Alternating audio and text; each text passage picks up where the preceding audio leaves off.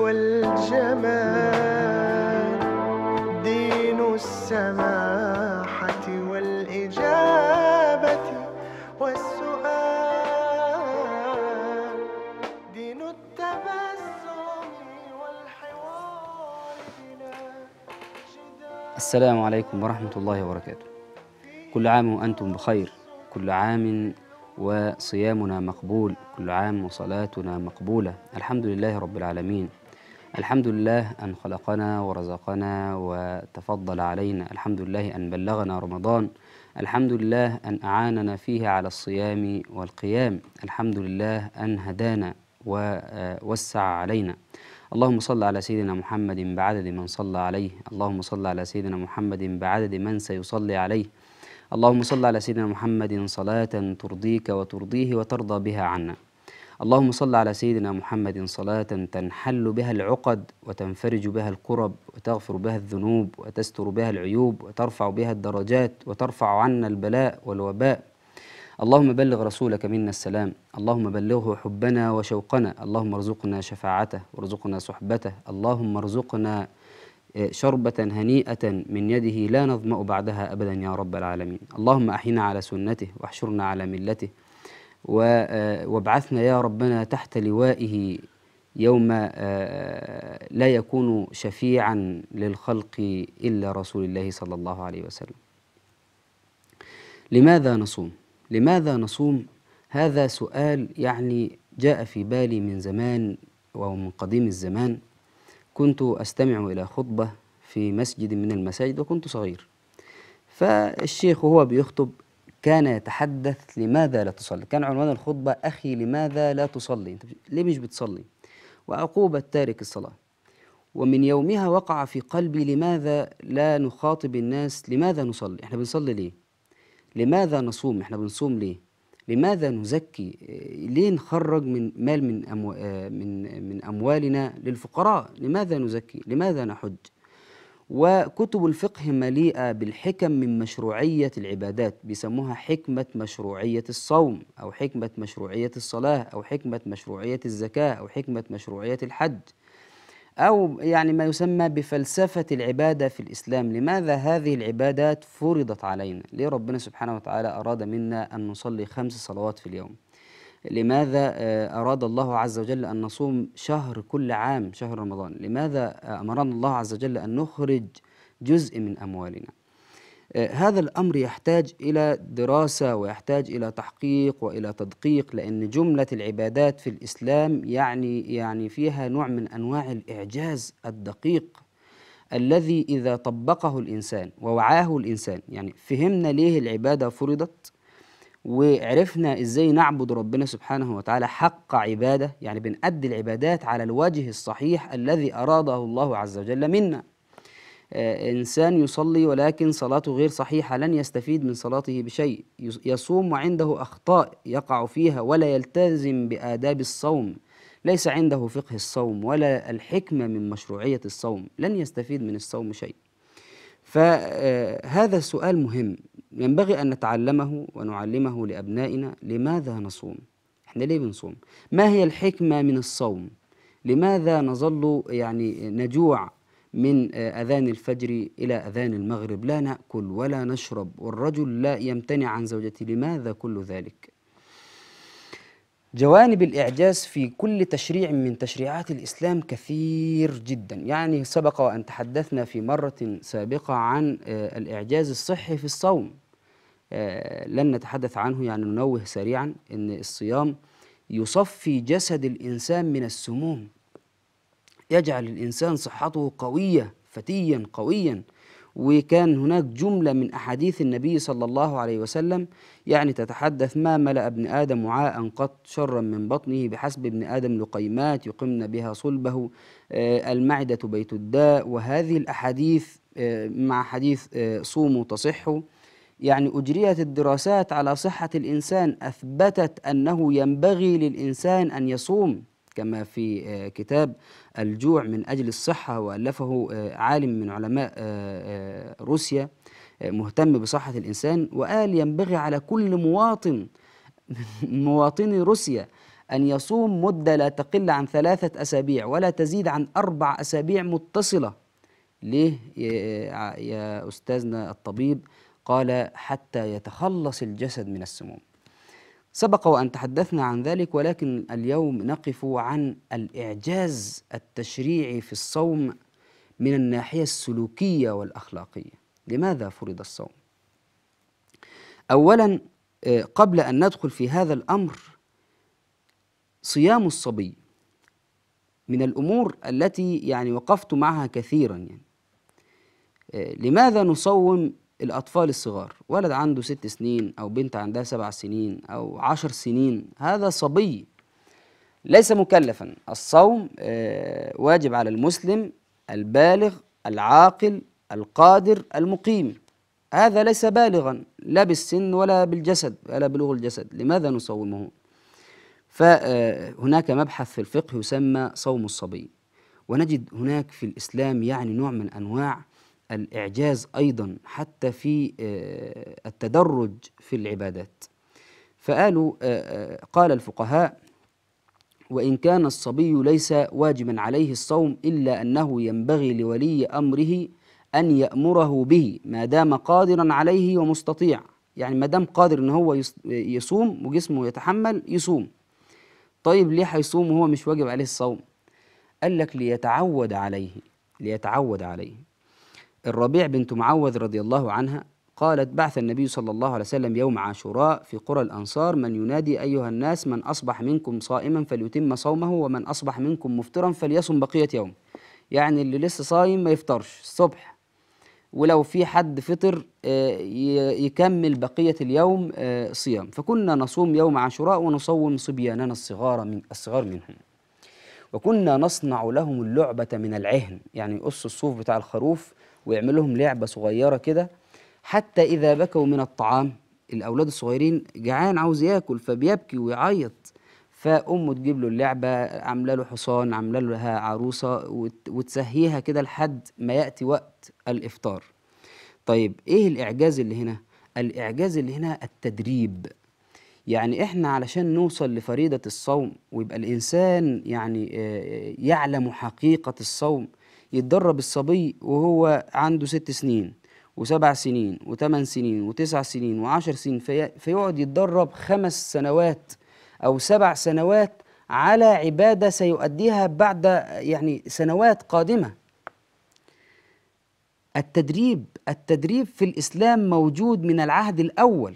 يبقى يخلي لو واحد بيتدرب على مهارة من المهارات أو وظيفة من الوظائف سبع سنين هيكون محترف سيطبقها أفضل تطبيق. وك... لذلك أمرنا الإسلام أن نعلم أبناءنا الصلاة وهو في عمر سبع سنين. علموا أبناءكم الصلاة لسبع سنين واضربوهم عليها العشر سنين. يعني عندنا ثلاث سنوات.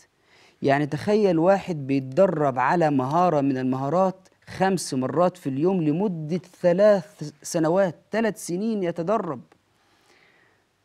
كيف سي سيكون وضعه بعد ثلاث سنين؟ سيكون محترفا سيكون متعلما. علموا أو مروا يعني يبقى فاهم فقه الصلاة عارف أركان وعارف السنن والأوقات وال- والدعاء الذي يدعوه في الركوع والسجود وبين الجلستين. يتدرب التدريب. لذلك في الصوم نصوم صبياننا الصغار فنعودهم وجد علماء النفس أنه الإنسان هناك وسيلة وحيدة لاكتساب المهارات. وهي يعني آه، نوع من أنواع الإعجاز فعلا. وهي التكرار الإنسان يكرر. فقالوا أن الإنسان مخلوق ناقص الإنسانية.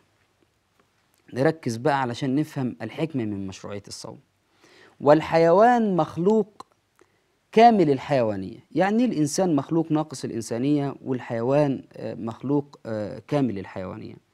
يعني آه، والله خلقكم من بطون أمهاتكم لا تعلمون شيئا. إحنا اتولدنا مع الذاكرة بتاعتنا ما فيهاش شيء تمام؟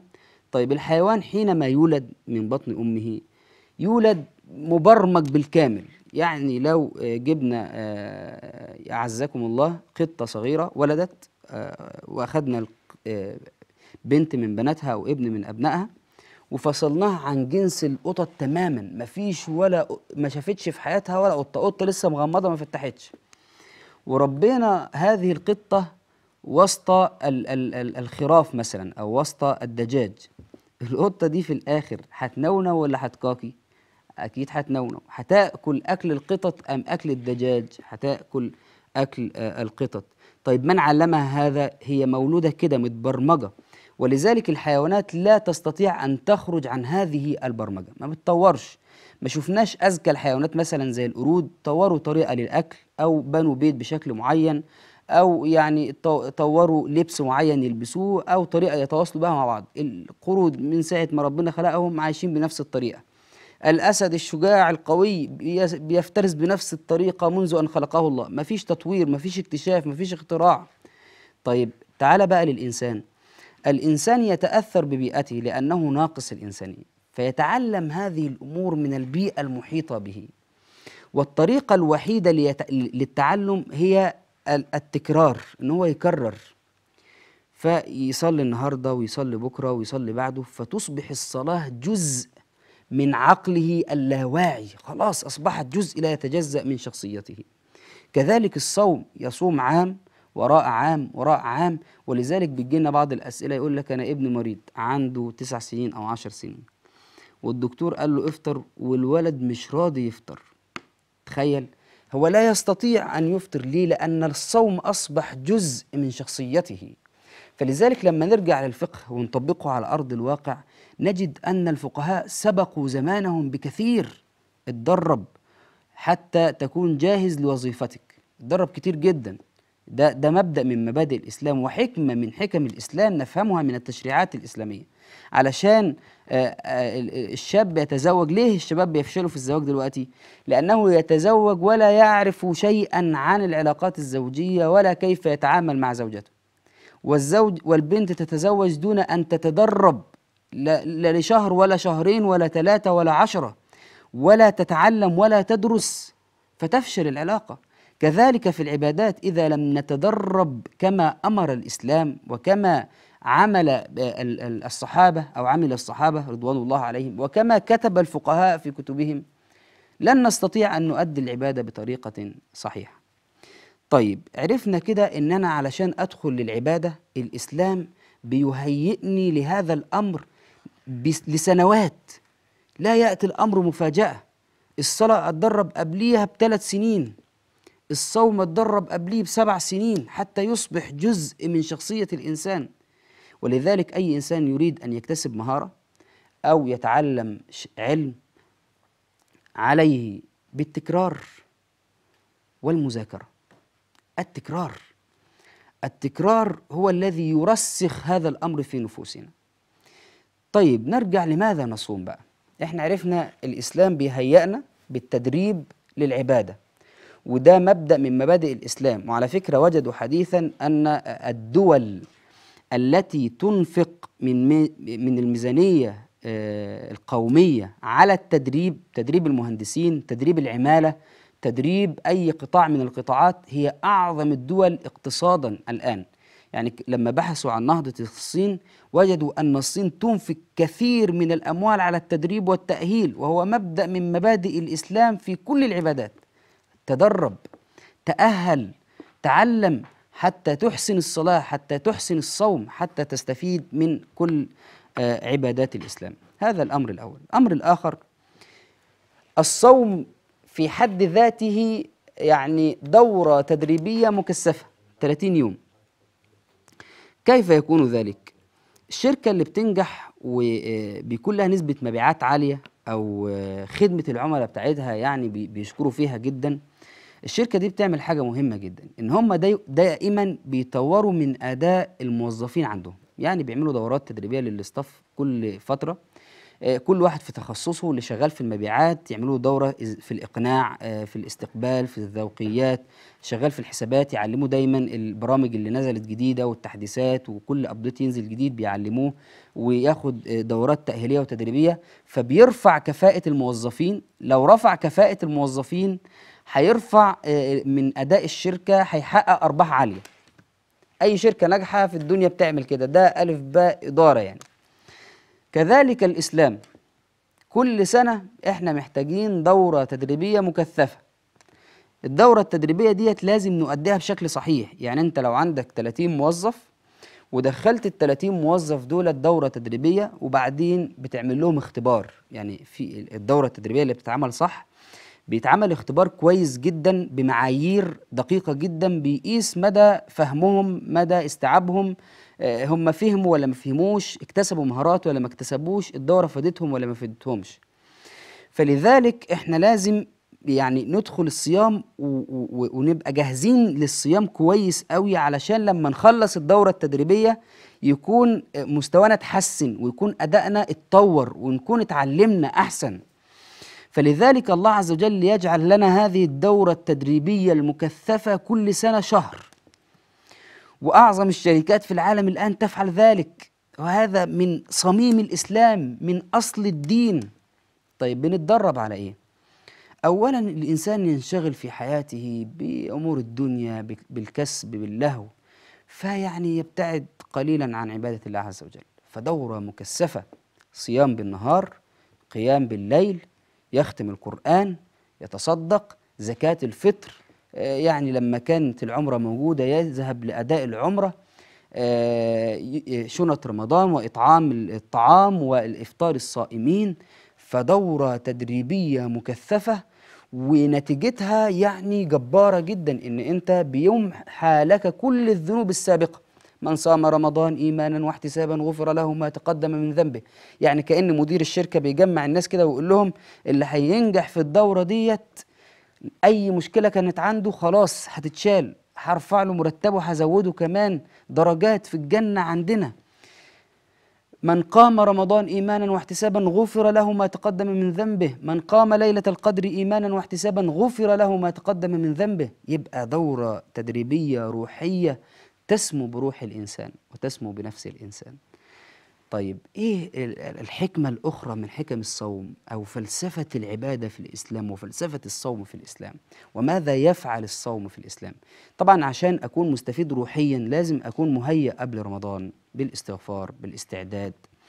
آه الشهر لم- لم يمر إلى الآن إحنا أمامنا الآن الكنز كنز رمضان لسه ما آه لم يأتي وقته بعد. إحنا اقتربنا على بعد ساعات منه نتحدث عنه إن شاء الله.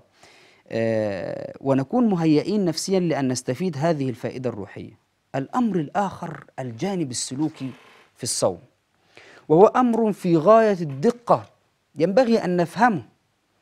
يعني مش مش بس إحنا كنا بندرس في, في كتاب الدين آه، من الصوم يعني يجعلنا نشعر بآلام الفقراء. طب لو واحد فقير هيشعر بآلام الأغنياء؟ لا. آه، الصوم فعلا يجعل الغني يشعر بآلام الفقراء. طب بالنسبة للفقير أو متوسط الحال أو اللي حاله أصلا يعني يصعب على ال- ال- ال- ال- الفقير اللي تحتيه آه، هيستفيد إيه؟ الأمر له جوانب من الإعجاز كثيرة جدا. زي ما ذكرنا إن الطريقة لاكتساب المهارات التدريب والتكرار وقلنا إن الإنسان ناقص الإنسانية فمن البيئة المحيطة لو لو في حاجة بتتعمل قدامه باستمرار هيطلع يعملها. ولذلك تفاجأ مثلا إن أستاذ عالم في علم معقد جدا في في الهند يعبد بقرة يعني. فتقول هل علمه لم يؤهله إن هو يعني يعرف الحقيقة؟ أقول لك الموضوع ملوش علاقة بالناحية الأكاديمية. الموضوع له علاقة إن هو طلع لقى باباه بيعبد بقرة ومامته بتع- بتعبد بقرة وجيرانه بيعبدوا البقرة وقرايبه بيعبدوا البقرة من الصغر. فتبرمج عقله في الناحية دي على هذا الشيء. عقيدته بقت كده. في الناحية الأكاديمية شطور جدا لأنه درس مع علماء في الناحية دي. فممكن تلاقي واحد عنده تحس إنه عنده انفصام في الشخصية. يعني طيب جدا عصبي جدا. آه، آه، بيصلي وبيصوم وبيعمل حاجات كويسة جدا بس ممكن بيرتشي بيختلس. فهو في حتة يعني آه، أثرت في شخصيته وفي الحتة التانية اكتسبها من مكان آخر فبقى عنده متناقضات. فالإنسان يحرص إن هو يكون في بيئة آمنة يكتسب منها آه، العادات والسلوكيات. عندنا الصيام بقى بيعمل إيه سلوكيا؟ الصيام بيخلي الإنسان يتدرب على أمر مهم جدا. أنا جائع. يعني خلاص بقى كنت بشتغل طول النهار ورجعت البيت بعد العصر ويعني الزوجة أو الأم عملت الأكل والأكل ما شاء الله ريحته جايبة من آخر الشارع زي ما بيقولوا. وجعان جدا. الأكل ده حلال ولا حرام؟ حلال ومباح. والماء البارد كوباية مية مشبرة كده جميلة حلال. وأنا راجع من بره من الحر عطشان جدا. ولكن أنا أمنع نفسي. يبقى هنا بقى النقطة اللي إحنا عاوزين نركز فيها جدا سلوكيا. أنا جوايا جوع شديد جدا يدفعني دفعا إلى الطعام. وأمام الطعام الشهي والطعام ده حلال ولكن ربنا قال لي صوم. فأقوم جوايا احتياج شديد للطعام والطعام قدامي ولا آكل أمنع نفسي. أمام الشراب المية الجميلة وما أشربش. طب أستفيد من هنا بإيه؟ برضه مش فاهم. أقول لك بقى. هذا ما يعودنا على الصبر. الصبر ان انت إيه بقى؟ تبقى متضايق جدا بتنرفز جدا. زوجتك قالت لك كلمة يعني خلاتك غضبان. طيب انت غضبان جواك والوسيلة ان انت تنفذ بيها عن الغضب ان انت تزعق لها أو في بعض الناس يعني ربنا يهديهم ويسامحهم يشتمها عشان ينفس عن غضبه وفي بعض الناس ربنا يهديهم أكتر بيضرب وينفعل ويعني فبينفس عن غضبه عن غضبه. طب الصوم هنا بقى بنتعلم منه إيه؟ بيقول لك وأنت غضبان بتغلي كده من جوه افتكر لما كنت جعان جدا والطعام قدامك اللي هو حي يعني آه، يلبي هذا الاحتياج. يعني أنت جعان وقدامك طعام وتلبية الاحتياج الجوع الشديد اللي هي شهوة مركبة في جسم الإنسان الطعام. بس أنت قدرت إن أنت تمنع نفسك عنها. ومش يوم واحد ولا يومين ولا عشرة. ده 30 يوم ورا بعض. لذلك لما تيجي تغضب قول آه.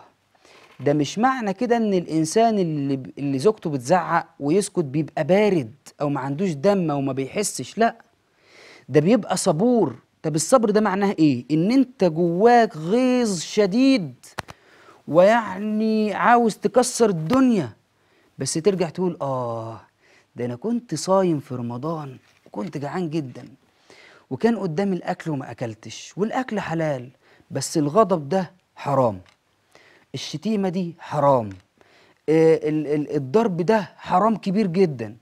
يبقى أنا منعت نفسي عن الحلال. طيب ده أنا همنع نفسي عن الحرام.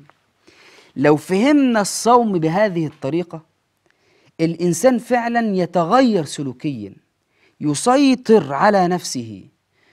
الله ده أنا باجي في رمضان وأمنع نفسي عن الزوجة وهي يعني بعقد حلال ويعني دفعنا فلوس وعملنا فرح والعالم كله عارف إن هي مراتي ومعي في البيت وقافلين على نفسينا ولا أقترب منها. آجي بعد رمضان وأقول إزاي أنا قعدت طول اليوم أمنع نفسي عن الحلال لأن الله أمرني بذلك. هل لا أستطيع؟ ما أنت بتمنع نفسك عن الزوجة وأنت تشتهيها وأنت يعني في بعض الناس بيقع كمان في أخطاء. تخيل بقى إن هو وصل لمرحلة من المراحل العالية جدا.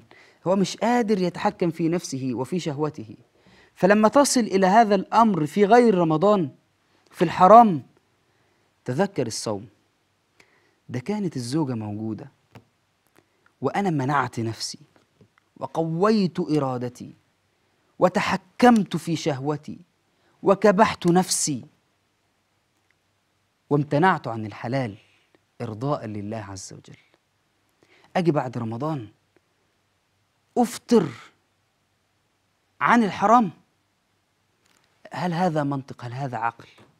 ولذلك الصوم عندنا مفروض علينا طوال العام. يعني إيه يا عم الشيخ؟ أنا أول مرة أسمع الكلام ده. إحنا عارفين إن هو الفريضة ثلاث أنواع صيام رمضان والكفارات لو واحد حلف يمين أو يعني أي نوع من أنواع الكفارات ولو أنا نذرت نذر ده الفريضة. إنما إيه الصيام بقى اللي هو طول العام فريضة ده؟ الصوم عن الحرام. الصوم عن الحرام فريضة. في كل أيام العام فريضة في رمضان وفي غير رمضان. الغضب تحكمك في الغضب هذا اللي هو بي- بيهدم البيوت ويدمر العلاقات اللي هو بيخلي الإنسان يفقد عمله بيعمل مشكلة مع زميله في الشغل ويسيب الشغل ويمشي بسبب غضبه. آه، معانا اتصال الأستاذ أحمد من الفيوم. ماشي اتفضل. أيوه يا فندم السلام عليكم. وعليكم السلام ورحمة الله وبركاته. كل عام وأنتم طبعا بخير. حضرتك بخير يا فندم. وحضرتك بخير. الإسلامية كلها بخير يا رب العالمين. اللهم آمين اللهم آمين. والنبي أنا عايز أسألك سؤال بس بس عايز كل المفهومات كل المعاني اللي عايز أوصلها لك تكون واصلة لك بطريقة غير مباشرة. أنا مش هينفع أقولها على الهواء آه، هو مبدئيا آه، أنا في مشاكل بيني وبين والدي كتيرة جدا من حوالي سنتين. تمام؟ آه، حاولت أكتر من مرة إن أنا أرضيه آه، لكن هو مفيش أدنى أي آه، مش مش فاتح الباب لأي حد تمام؟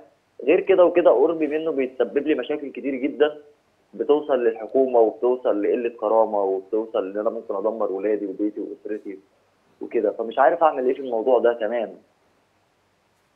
آه بحاول على قدر الإمكان برضو أبعت مع ناس قرايبنا اللي ربنا بيقدرني عليه لكن هو برضو بيبقى رافض الموضوع تماما. حضرتك أخطأت في حقه خطأ وهو مش راضي يغفره مثلا. هو أنا ما خطأتش في حقه هو أنا هو القصة ويعني هحاول أقولها لك بطريقة سريعة. هي القصة وكانت ما فيها إن أنا كان ليا عند حد فلوس مبلغ ما وكنت رافع آه، عليه وصل أمانة باسم والدي ده. وبعد كده والدي لما الناس جت جت عشان تحل المبلغ كان صغير كان 35000 جنيه. آه، والدي طلب آه، مبلغ مهول مبلغ يرفع طاقة أي حد يعني ما ما حدش هيقبله. لما جيت أتكلم في إن لأ غلط وما يصحش وأنا عندي ولد وده فلوس حرام وهي داخل علينا سحت رفض موضوع زي كده. لما حاولت وحليت المشكلة من وراه هو زعل عشان أنا حليت المشكلة من وراه. تمام فهمت فهمت قصدك. تمام. يا ريت بقى حد اللي جاي أنت تفهمه. تمام. شكرا جزيلا يا فندم. الله يبارك فيك يا رب. شكرا.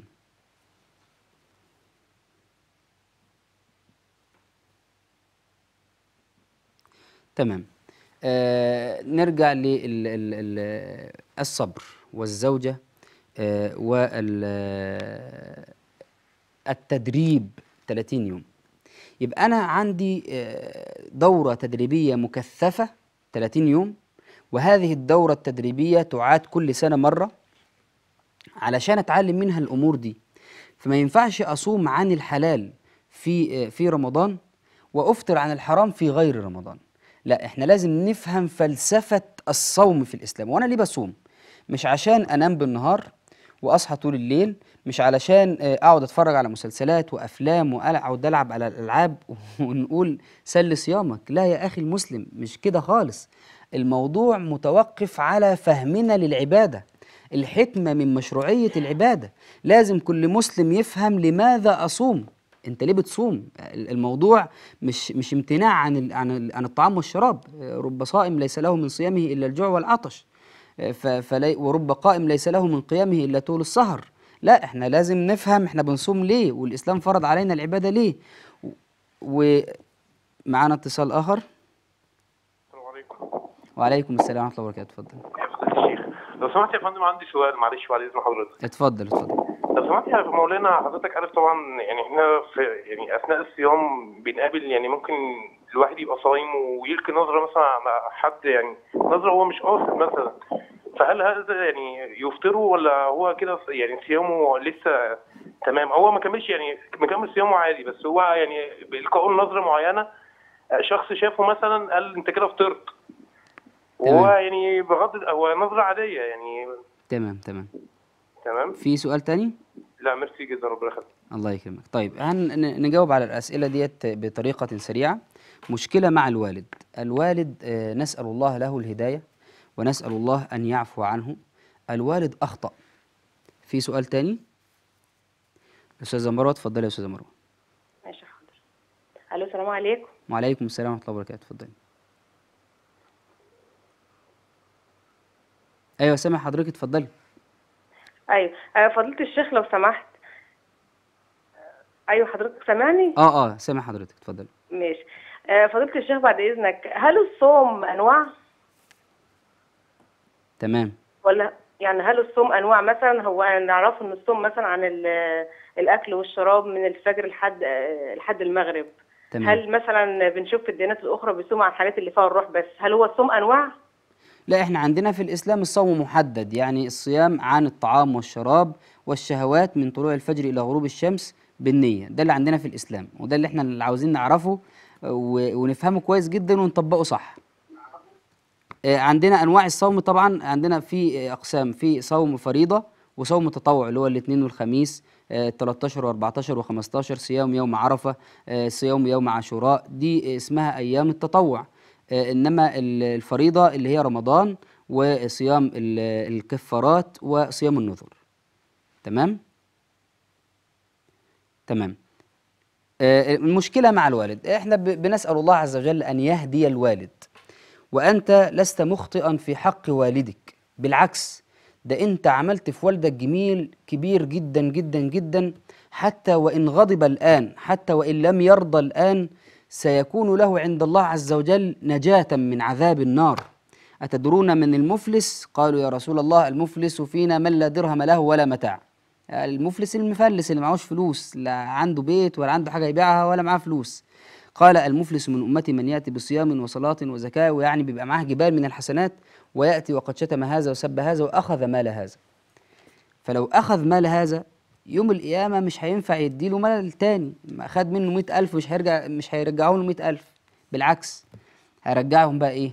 حسنات. فيأخذ هذا من حسناته وهذا من حسناته. فإن فنيت حسناته الحسنات بتاعته خلصت أخذ من سيئاتهم فطرحت على سيئاته فطرح في النار.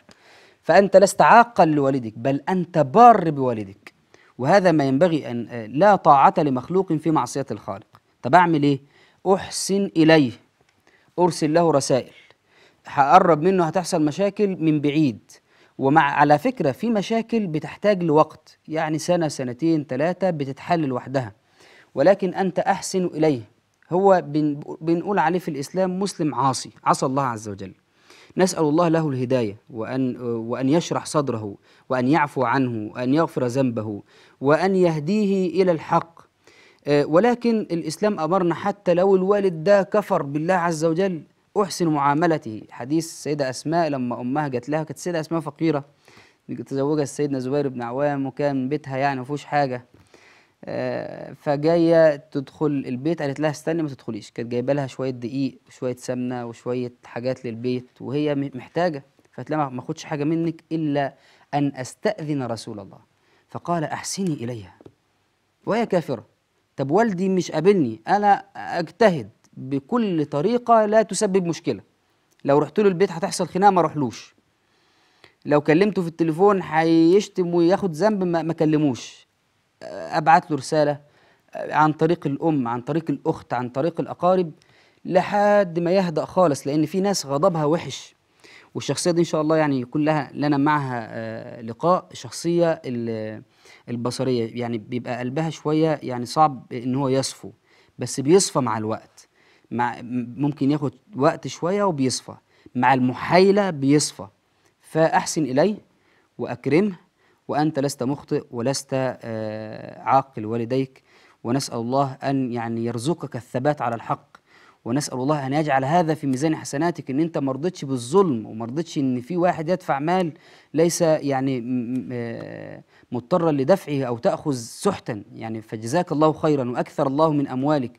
وأسأل الله في هذا الوقت المبارك وكل من يسمعني يدعو لك بالبركة في الرزق وفي الأبناء وفي وفي يعني في القبول عند الله عز وجل وأن يرزقك الله جنته.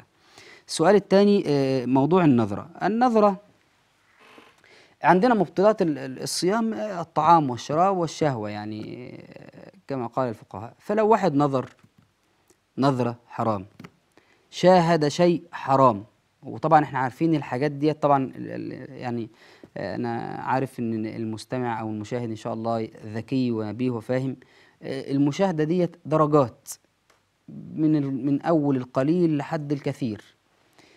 كلها لا تفسد الصوم. لا تفسد الصوم يعني صيامك آه، صحيح. بس هنا بقى في مشكلة بقى الكبيرة شوية واللي إحنا لازم ناخد بالنا منها. لما بنتكلم عن فضل شهر رمضان هذا شهر تضاعف فيه الأعمال. والعلماء قالوا أن الأوقات والأماكن التي تضاعف فيها الحسنات زي بيت الله الحرام زي المسجد النبوي زي المسجد الأقصى زي شهر رمضان زي العش العشر الأول من ذي الحجة تمام؟ دي أوقات آه، وأيام آه، وأماكن آه، تضاعف فيها الحسنات. تمام؟ آه، معانا الأستاذة دينا.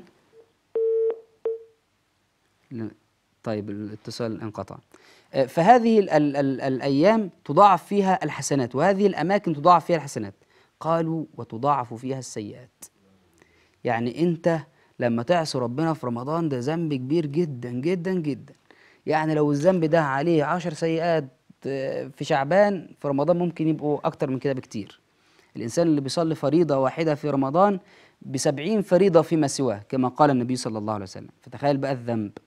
فهذا ذنب ويكفيك يا أخي منه الاستغفار. والله عز وجل يحب العبد كثير الاستغفار. يحب التوابين ويحب الأوابين ويحب المستغفرين سبحانه وتعالى. ولو أنت عملت ذنب واستغفرت ربنا سبحانه وتعالى ربنا بيفرح بيك. آه، معانا الأستاذ عمار اتفضل. آه شيخنا لو سمحت يعني في الصيام ب- ببقى بقصص ضوافري يعني وكده. يعني عادي أكمل صيامي ولا لأ؟ هو أنا ما سمعتش السؤال كويس يا عمار بعد. يعني في صيامي؟ أنا ب- بقصص ضوافري يعني ضوافري ببقى حاطط إيدي في بقي وكده. آه. يعني انت وانت صايم بتحط صباعك في بقك. آه. تمام. وبتقصقص ضوافرك. آه. يا ريت ما تعملش كده يا عمار. ماشي. طيب هل بقى لو قصقصت حاجة بقى آه، بت آه. بتروح فين القصقصة دي يا عمار؟ يعني ساعات ببلعها وساعات بفتكر و آه يا عمار. حتى يا عمار إحنا ما ينفعش نحط صباعنا في بقنا طبعا وخصوصا في زمن الكورونا يا عمار. طبعا لازم تغسل ايديك كويس. آه طبعا الأظافر الإسلام بيأمرنا إن إحنا نقصها كل يوم جمعة. تمام؟ آه طيب معنا الأستاذة ياسمين. ألو؟ وعليكم السلام ورحمة الله وبركاته. اتفضلي. ألو؟ السلام عليكم. وعليكم السلام ورحمة الله وبركاته. اتفضلي. الله يخليك يا شيخ. كنت بستفسر بس من حضرتك على حاجة عن سؤال كده بره الحلقة. اتفضلي حضرتك. آه، أنا أي حد بيدخل بيتي ما بيجيليش حد عامة إلا كل كام شهر مرة ولا حاجة. تمام. فأي حد بيدخل أو كده بعدها بقعد أعيط ومبقاش طايقة البيت ولا طايقة حد وببقى مش عارفة أتصرف في بيتي زي الأول. تمام. ولو رحت برضه عند حد يعني بيبقى حد معين كده يعني تمام. أنا عارفاهم وكده. تمام. فامبارح ده اللي حصل كنت عازمة حد عندنا على الفطار وكده بعد ما مشوا كنت زي الفل بعد ما مشوا قعدت أعيط لحد الساعة 6 الصبح ومش طايقة بيتي ومش طايقة نفسي. حد يعزم حد. في زمن الكورونا مش إحنا قلنا مفيش عزومات؟ ما هو بقى مضطرين بقى معلش طيب ماشي. حاضر أجاوب حضرتك حاضر. جزاكم الله خير. جزاكم الله خير. آه آه عمار. إحنا قلنا يا عمار ما ينفعش نحط آه أصابعنا في بقنا لأن ديت ممكن يكون فيها ميكروبات وبتضر الجسم. وده مش موضوعنا موضوعنا إن أنت لو قطعت الضفر بتاعك وبلعته ده أفسد الصوم للأسف يفسد الصوم آه لو في في بقك طعام. وأنت ما اتمضمضتش كويس. وبلعت الطعام ده آه لو حتة قد الحمصاية كده تفسد الصوم ويبقى صيامك باطل طب لو حصل كده لو واحد حط في بقه آه خرزاية كده وفي ناس بتحب تحط أي حاجة في بقها تلعب بيها كده لو حطيت في بقك حاجة وهوب بلعتها بطل الصوم. طب أعمل إيه؟ هكمل صيام اليوم كاملا لحد المغرب وبعدين هقضي يوم مكانه بعد رمضان. تمام؟ الأخت ياسمين بتقول إن في حد بيزورها وكل لما يزورها بتحصل مشاكل آه، وحاسة إن هو حسد. تمام؟ طبعا الحسد كما قال النبي صلى الله عليه وسلم يعني يدخل الرجل ال- القبر ويدخل الجمل القدر والحسد آه، وأكثر ما يقتل أم- امتي الأنفس. ممكن النفس دي تقتل إنسان. معانا الأستاذ؟ آه، آه، أم أسلام أم أسلام اتفضلي يا أم أسلام. السلام عليكم. وعليكم السلام ورحمة الله وبركاته. لو سمحت يا سيدنا الشيخ أنا ال- الأيام اللي أنا بفطرها في رمضان بطلع عليها فلوس في رمضان. يعني قبل قبل الشهر ما بيخلص بيكون مطلعاه تمام. لا يا أم إسلام هو هو حضرتك آه، بتفطري لسبب عذر شرعي صح؟ اللي هو أسبوع أيوة، ولا حاجة؟ أيوه أه. لا حضرتك قادرة إن أنت تصومي بعد رمضان؟ أنا يعني أنا عندي 45 سنة وبخاف لحسن ما حصلت الصيام الثاني بعد لا. هو هو لا. لا لا تجزئك الكفارة ما ينفعش نطلع كفارة. لازم نصوم الأيام آه، الكفارة بتكون لل- للي هو مش قادر يصوم خالص للي مش قادر يصوم خالص. يعني واحد مريض مرض مزمن ولا يرجى شفاؤه يعني ربنا يعافي المسلمين أجمعين. عنده الكبد عنده الكلى عنده سكر في في مرحلة معينة عنده مرض من أمراض القلب فده ما بيصومش طول السنة فبيطلع كفارة. طيب ال- المريض مرض يرجى شفاؤه واحد جاله دور برد آه، تعب يومين كده مش عارف إيه آه، حاجة ففطر يومين. آه، حاجة بسيطة امرأة عندها عذر شرعي فبتيجي بعد رمضان وبتصوم بقى. يعني ممكن تصومي اثنين وخميس آه، لحد ما إيه ما تخلصي الأيام اللي عليك. إنما الكفارة ده بيكون للإنسان اللي هو غير قادر على الصوم. فلازم تصومي يا أم اسلام شكرا جزيلا. آه، هنرجع للأستاذة ياسمين. آه، آه، بالنسبة لموضوع ال- الحسد بقى لازم نحصن نفسنا. معنى كده إن أنت حضرتك ضعيفة فالعين تصيبك. طيب آه، أعمل إيه؟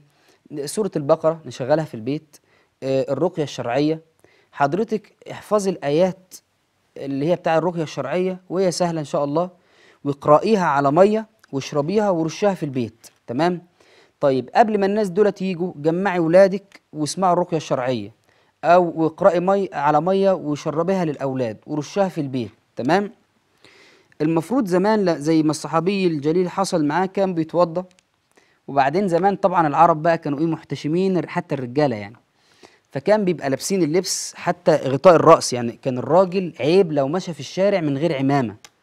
عند العرب زمان لو ما كانش لابس العمامة كان ده عيب. وبيسموها من خوارم المروءة. ولو حصلت مشكلة ما يقبلوش شهادته. يعني لا تقبل شهادته لأنه خلع غطاء الرأس. عندنا دلوقتي بقى يعني إيه ربنا يعفو عنا جميعا عن الرجالة والستات. فالراجل آه، معانا الأستاذ. الأستاذة شيماء اتفضلي يا أستاذة شيماء. السلام عليكم. وعليكم السلام ورحمة الله وبركاته. إيه الحمد لله بخير اتفضلي. بص حضرتك أمي عاملة عملية. ربنا يعفو عنها يا رب. آه، هو الصوت بس مش واضح يعني يا ريت توضحي الصوت الله يكرمك. عامله عملية شايله الثدي بتاعها. تمام ربنا يعافيها يا رب. هو ممكن بس نقفل التلفزيون ونتكلم من التليفون عشان الصوت بي بيرجع تاني. وعندها وعندها حرقان في البول فهي كل ما بتاجي تصوم بتتعب. تمام. فيعني إيه لو قدرت لا لو لو الطبيب قال إن مرضها ده يعني هيقعد معاها فترة طويلة ومرض لا يرجى شفاؤه بنطلع آه، كفارة عن الصيام آه، عن كل يوم إطعام آه، صائم تمام؟ إنما لو كان ال- المرض يرجى شفاؤه يعني هتقعد شهرين ثلاثة تعبانة بعد ما تخف خالص بالسلامة نسأل الله وندعو يعني ال- الجميع أن يدعو لها بالشفاء والعافية وأن يعافيها ويعفو عنها ويعجل بشفائها إن شاء الله. آه، بعد ما تخف بالسلامة خالص بعد 3 4 شهور 5 6 شهور بتصوم الأيام اللي عليها مرة تانية. إنما لو كان المرض آه، مطول معاها سنين لا يبقى آه، هتطلع كفارة إطعام آه، مسكين عن كل يوم. تمام؟ آه، موضوع الحسد بقى. طيب أنا عرفت إن حد معين زمان زي ما بنحكي قصة الصحابي كان مشمر دراعه ورجليه وبيتوضى. فواحد تاني مر عليه ونظر إليه فقال له يعني ده أنت جسمك أبيض أكتر من البنت اللي لسه ما اتجوزتش. يعني أنت شكلك حلو وجميل يعني. قام الراجل وقع في الأرض وجاله صرع. فشالوه وراحوا بيه للرسول صلى الله عليه وسلم. فالرسول قال لهم إيه اللي حصل؟ قالوا إن هو كان بيحصل كذا وكذا فمر عليه فلان فقال كذا فقال على ما يقتل الرجل منكم أخاه. النظرة تقتل تقتل. وبعدين أمر الصحابي ده إن هو يتوضا والمية اللي هي نازلة من الوضوء جمعوها بتوضا في طبق أو في في إناء يعني. وراح رششها النبي صلى الله عليه وسلم على الصحابي ده فاق ولا كأن في حاجة حصلت. طيب يا شيخ أنا لو قلت لهم تعالوا اتوضوا وهاتوا ماء وضوءكم يعني هيجرسوني وهيفضحوني ويقولوا لي مش داخلين لك بيت تاني وتحدث بيننا قطيعة. فبعض ال- العلماء قالوا نأخذ من السؤر. يعني إيه السؤر؟ هي شربت كوباية مية. باقي في كوباية المية دي شوية. شربت كوباية شاي وباقي فيها شوية. نجا ناخد كوبايات المية ديت اللي هم شربوا منها ونفضيها في حلة ونقوم مفضيين مية عليها مزودينها ونغتسل ونخلي الأولاد يغتسلوا والزوج يغتسل والمية الباقية نرشها في كل الإيه؟ في كل البيت. إن شاء الله يعني يكون لك شفاء من الحسد. فمعانا اتصال؟ طيب آه عاوزين بقى نختم حلقتنا النهارده وأتمنى نكون إحنا استفدنا من فلسفة الصوم في الإسلام. وعرفنا إن هو دورة تدريبية تأهيلية ودورة تخصصية في تخريج المسلم كل سنة لمستوى أعلى وإن هو يكتسب مهارات أحسن. إحنا مش بنصوم كل سنة وخلاص بنكرر لأ ده أنا درجة إيماني آه، سبعة في المية. فالسنة اللي بعدها بقت تسعة السنة بعدها بقت عشرة وكل سنة أزداد إيمانا وقربا من الله عز وجل. كنت بختم ختمة واحدة بقوا اتنين. كنت بتصدق بكذا زودت فروحيا أزداد سلوكيا أنضبط صبر. أفهم من الصوم إن أنا م- مش ببقى يعني آه، بارد لما حد يضايقني. لا ببقى غاضب ببقى يعني منفعل. والرسول صلى الله عليه وسلم يقول للصحابي لما قال له دلني على عمل إذا عملته دخلت الجنة قال لا تغضب. فقال له يا رسول الله دلني على عمل أنا جاي لك من بعيد أنا عاوز حاجة تدخلني الجنة. قال لا تغضب. فركب الحمار بتاعه كده وأشار النبي يا رسول الله دلني على عمل إذا عملته أدخل بالجنة. قال ألا تفقه. أنت مش افهم. لا تغضب ولك الجنة. فمش معنى كده إن أنا مش ببقى يعني منفعل أو ببقى متضايق لا ببقى متضايق. ولكن بتحكم في غضبي وفي ضيقي وفي ف... وفي ردة فعلي. فده هينجينا من مشاكل اجتماعية كتيرة جدا سواء في البيت مع الزوج أو الزوجة. زوجك مضايقك افتكري الجوع والصيام. آه، زوجتك ضايقتك افتكر الجوع والصيام إن هو إنت متضايق فاهدى شوية سيب البيت وامشي اقعد في مكان لوحدك زي ما بنعمل كده لو مش قادر تمسك نفسك عن الطعام ابعد عن الأكل ابعد عن المطبخ تمام؟ آه، فنتعلم من الصوم الفائدة الحقيقية من الصوم. إحنا داخلين وآخر دقيقة معانا في الحلقة على العشر الأيام الأواخر من رمضان. هذه العشر كان الرسول صلى الله عليه وسلم يجتهد في العشر الأواخر من رمضان ما لا يجتهد في العام كله. كان يعتزل الناس كان يعتكف في المسجد كان آه، ينتظر ليلة القدر صلى الله عليه وسلم. إمتى ليلة القدر؟ في العشر الأواخر من رمضان. نجتهد كل العشر أيام الأواخر من رمضان حتى ندرك ليلة القدر. ليلة أكثر من عبادة 84 سنة صافية خالصة. لا ينبغي أن نضيعها لا ينبغي أن نتكاسل عنها. من قصر في السابق فلا ينبغي أن يقصر في الباقي أن يقصر في الباقي. آه، نسأل الله العظيم أن يبلغنا وإياكم ليلة القدر. نسأل الله أن يكتب لنا أجرها وأن يكتبنا من أهلها وأن يكتب لنا مغفرتها وعتقها من النار. آه، جزاكم الله خيرا وكل عام وأنتم بخير. نراكم على خير إن شاء الله. والسلام عليكم ورحمة الله وبركاته.